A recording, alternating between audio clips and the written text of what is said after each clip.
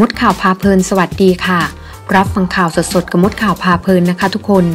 ลอยแพพนักงานโรงงานเฟอร์นิเจอร์ยักษ์ใหญ่ขาดทุน 400 ล้าน ลอยแพพนักงาน 200 คน วันที่ 6 มกราคม 64 ผู้สื่อข่าวรายงานว่า จากกรณีโรงงานเฟอร์นิเจอร์บริษัท Super Creation Furniture ประเทศไทยจำกัด ตัดสินใจย้ายฐานการผลิตจากอำเภอหนองจิก จังหวัดปัตตานีไปยังจังหวัดชนบุรี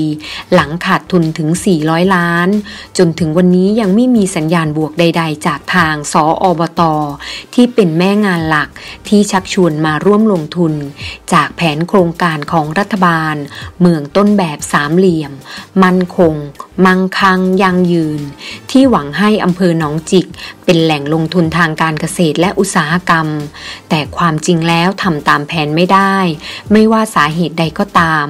มันส่งผลต่อความเชื่อมั่นต่อการลงทุนทางเศรษฐกิจในพื้นที่ทันที เป็นอีกโครงการที่ผลงานรัฐเดินหน้าไม่สำเร็จ ซ้ำรอยโครงการใหญ่อีกหลายโครงการที่ผ่านมา เช่น นิคมอุตสาหกรรมหาลาดอำเภอปะนาและ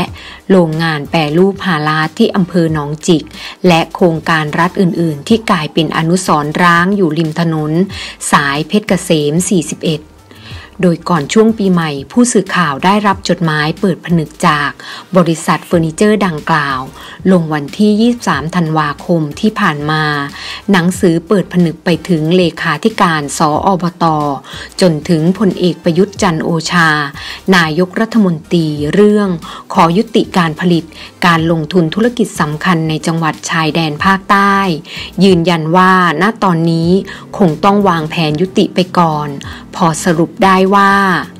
จากที่บริษัทได้เข้ามาลงทุนทำการผลิตระยะเวลากว่า 1 ปี 3 เดือนแล้ว แต่ทางรัฐบาลไม่สามารถทำตามแผนงานที่ระบุว่า จะช่วยเหลือด้านคมนาคมขนส่งอำนวยความสะดวกเรื่องสาธารณูปโภค ตามที่วางไว้ได้ทำให้บริษัทต้องขาดทุนอย่างหนัก จนไม่อาจจะลงทุนทำธุรกิจได้อีกต่อไป ได้รับความเสียหายได้แก่ 1. ต้นทุนค่าขนส่งที่สูงกว่าการลงทุนในพื้นที่เขตระเบียงเศรษฐกิจตะวันออก ประมาณ 500 เหรียญสหรัฐ ต่อตู้คอนเทนเนอร์ ซึ่งปัจจุบันบริษัทได้มีการส่งออกแล้วกว่า 200 ตู้ คิดขนส่งที่สูงขึ้นกว่า 1 0 0 0 0แสนเหรียญสหรัฐ 2. มูลค่าการลงทุนในที่ดิน 211 ไร่ ซึ่งไม่สามารถใช้ประโยชน์ได้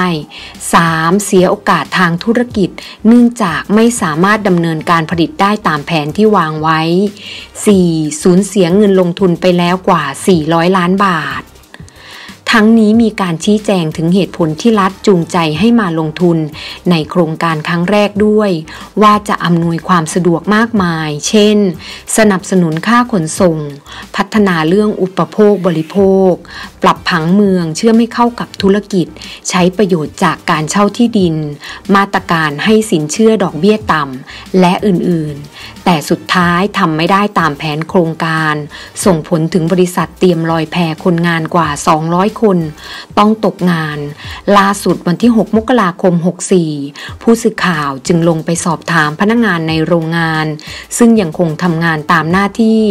บางแผนกปิดลงไปแล้ว3แผนก พนักงานที่เหลือบางคนหยุดงานไปก่อนรอคำตอบจากบริษัทว่าจะเดินหน้าต่ออย่างไร